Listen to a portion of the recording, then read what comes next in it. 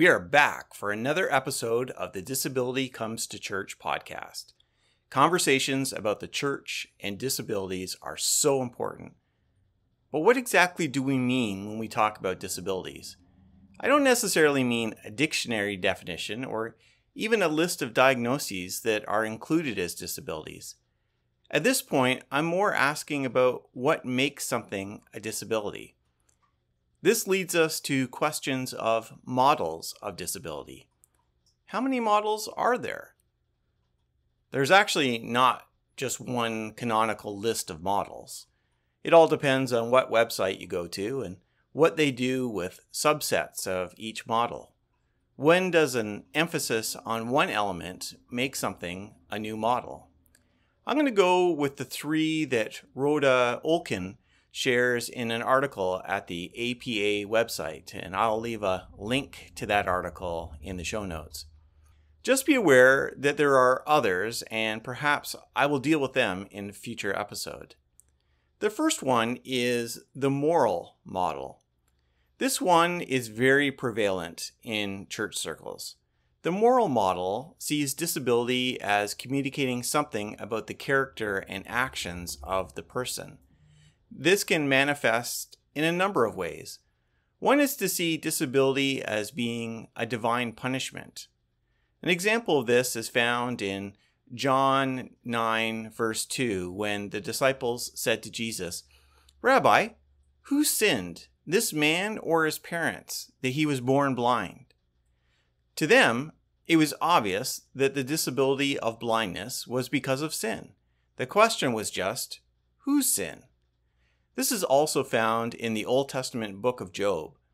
Job's friends are convinced that his suffering is because of personal sin and they plead with him to repent.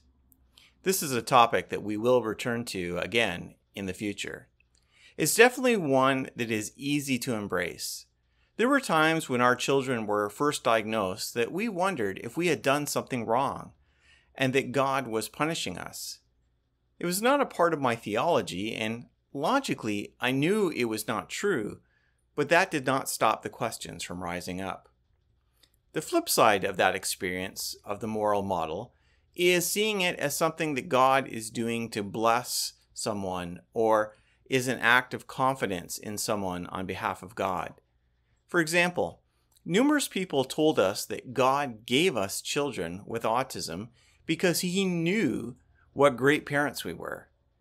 In terms of the person with a disability, it may be about seeing them as an inspiration as they overcome their disability.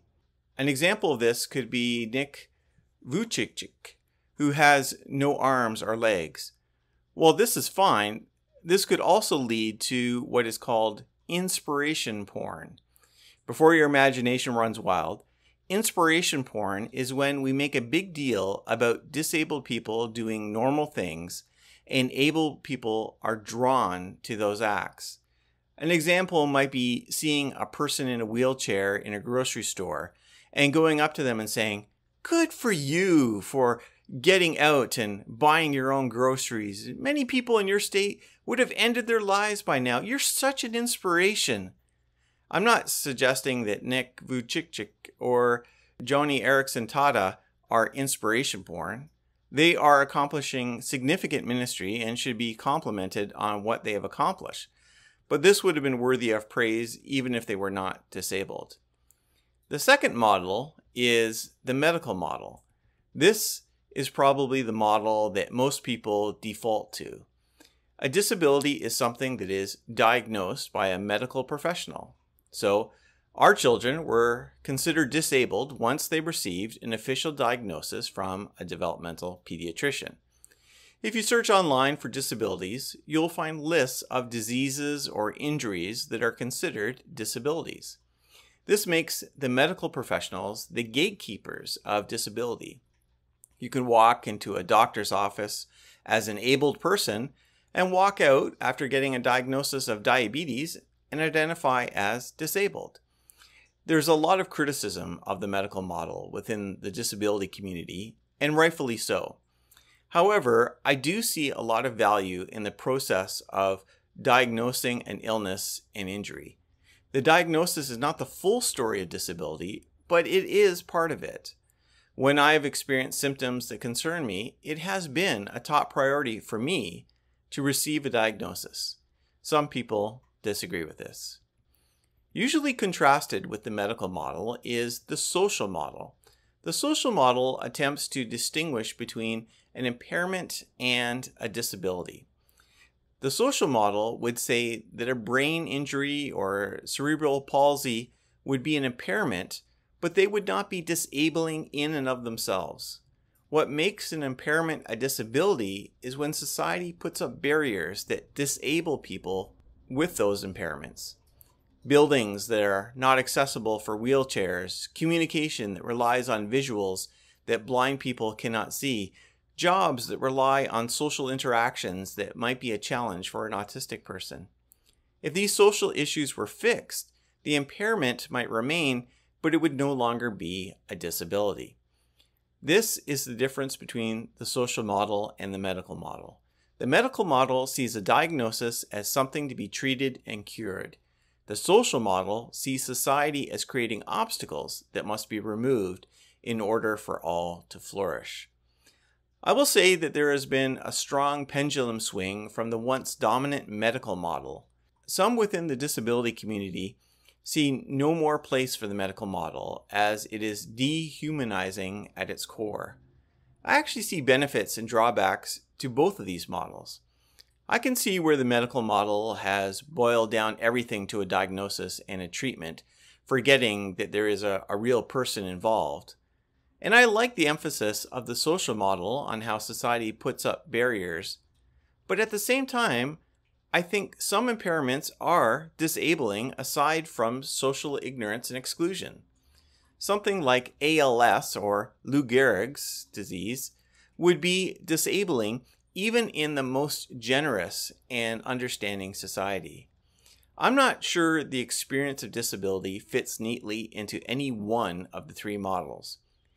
But one of the things that I think is helpful, especially in the conversation of the disability comes to church, is the reflection on which of these models influences our theology the most. Do we see disabilities as a punishment from God or an example from God to teach us a lesson? Do we see disabilities as a brokenness that needs to be fixed, whether by prayers for healing or some other means? Do we see disabilities as a justice issue, where the church is called to break down the barriers that exclude people with disabilities? How we answer these questions will say a lot about what the kind of theology we have and the kind of disability ministry we'll embark on. That's something that we'll dig into in a future episode. Thanks for listening to the Disability Comes to Church podcast. If you'd like a transcript of this episode, support me on Patreon at patreon.com slash hopesreason for even just $2 per month.